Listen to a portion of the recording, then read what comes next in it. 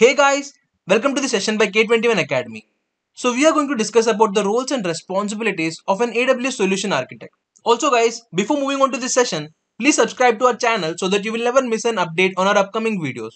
Now let us take a quick glance at the agenda. So firstly, we will be seeing who is a solution architect and then we will be seeing who is an AWS solutions architect. And then we will be seeing what are the roles and responsibilities of an AWS solutions architect. Post that, we will be understanding how to become an AWS solutions architect. And then we will be seeing what are the job trends and salary trends of an AWS solutions architect. And finally, at the end, we will be going through the certification details of AWS solutions architect. Now let us see who is an AWS solutions architect. So before talking about AWS solutions architect, let us see who is a solution architect. So a solution architect is responsible for the design of one or more applications or services within an organization, right? So he or she would be the part of solution development team, right?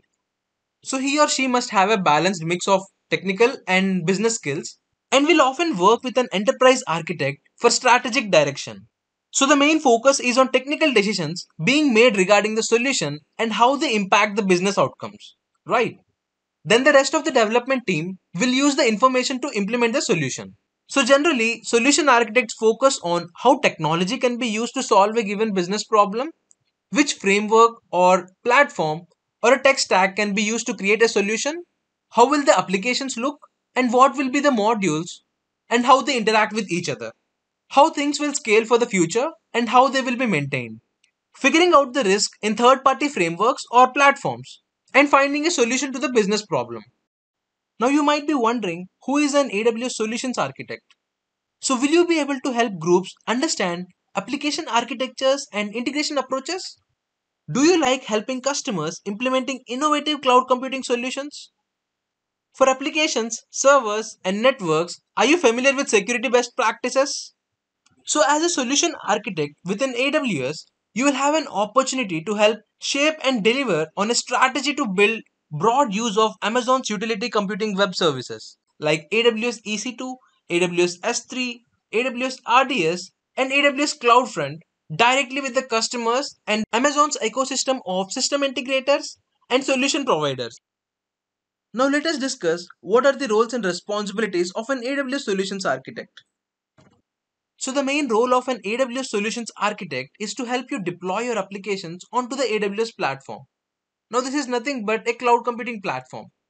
So it is not to say that you can't deploy your applications on the cloud computing platform yourself. It is just that when it comes to organizations, the applications that you need to deploy become a whole lot more complex. So that's where an AWS solution architect can help. Ever since cloud computing became a thing, companies around the world have started migrating their physical infrastructure onto the cloud. So that's what an AWS solutions architect does. So they help you migrate your physical infrastructure onto the AWS cloud. Companies around the world work on a budget and an AWS solutions architect will help you design a cloud infrastructure based on the organization's budget. So before that can be done, however, an AWS solutions architect has to create a design with an intricate and detailed blueprint of the cloud infrastructure that they plan to set up. Now, AWS solutions architects also have to mainly focus on non-functional requirements like usability, reliability, scalability, and performance of the cloud infrastructure. They are also responsible when it comes to minimizing risks that an organization can face when it comes to cloud computing platforms. Now, they could face risks like security leaks, calculation mistakes, and application downtimes. So an AWS solutions architect has to ensure that these things don't happen.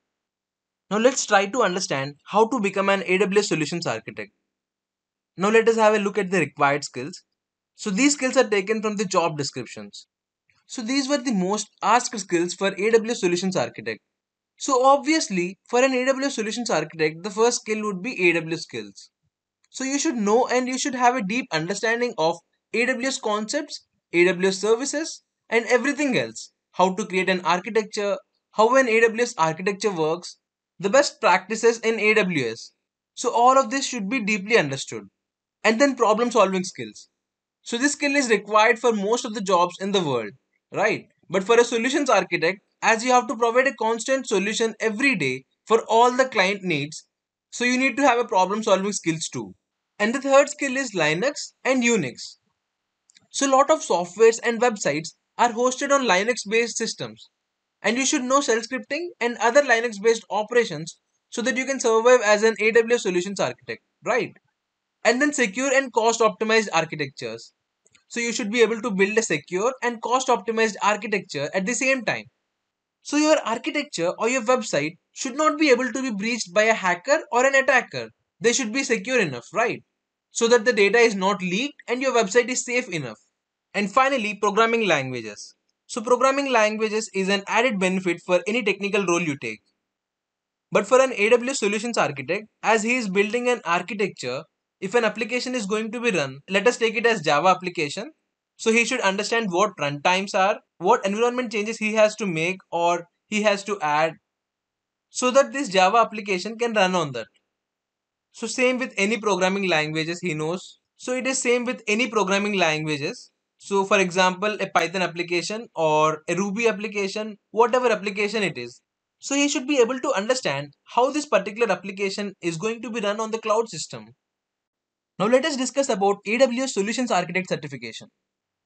And then most importantly, you will need an AWS Solutions Architect certification, right? So learning these skills is not a problem. But when you attend an interview, they are not going to check what is on your head or what skills do you have.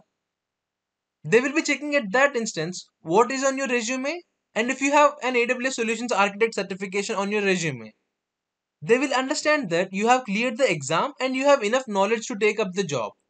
So what is the format of this AWS Solutions Architect certification exam? So the format is MCQs and the type is associate.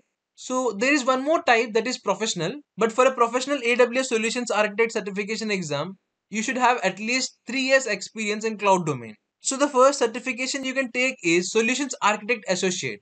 So after taking that, the delivery method will be testing center nearby in your city and then maximum time available for you to complete this exam is 130 minutes and the cost for particular certification exam is 150 USD right so you can also take multiple practice exams and each of the exam cost 20 USD and the particular exam is available in four different languages English Japanese Korean and simplified Chinese now what does this particular certification exam validate because if interviewer is seeing your resume and he checks that AWS Solution Architect certification has been completed, so he should know how big and how much valuable is that particular certification.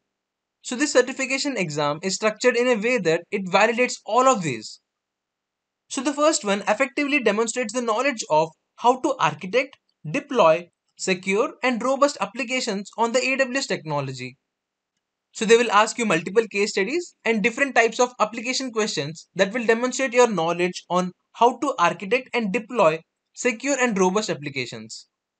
And then define a solution using architectural design principles based on customer requirements. So the questions will also be based on user requirements and you will have to combine user requirements and architectural design principles to provide a solution. And finally, provide the implementation guidance based on the best practices to the organizations throughout the lifecycle of the project. A huge organization will have DevOps lifecycle installed in them. So the DevOps lifecycle will go from plan till monitoring and come back to the plan again. So that DevOps lifecycle should also be hosted on the cloud system. Now this particular solutions architect should be able to provide the implementation guidance based on the best practices. There might be a DevOps lifecycle already running, but to improve that, there is always something to improve in your organization and in your DevOps lifecycle to make the process faster and make it better.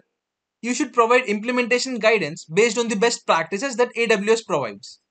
Now let us discuss the job trends and salary details of an AWS solutions architect. According to Glassdoor, in just the last month, there have been 5,765 different jobs posted in India.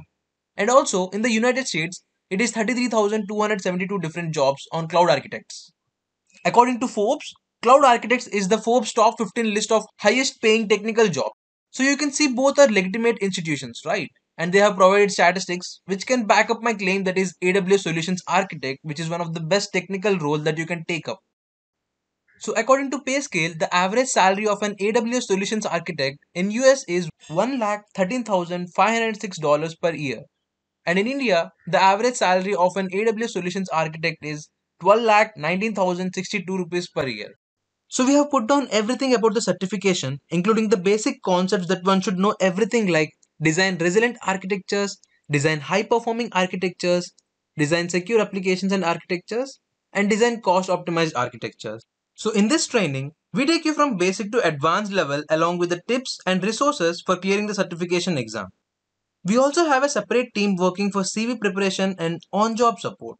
So if you want to become an AWS Certified Solution Architect Associate, and want to learn right from basics to expert level, then we have a comprehensive step-by-step training for you that includes hands-on labs, including the exam preparation and most important part, one year on-job support.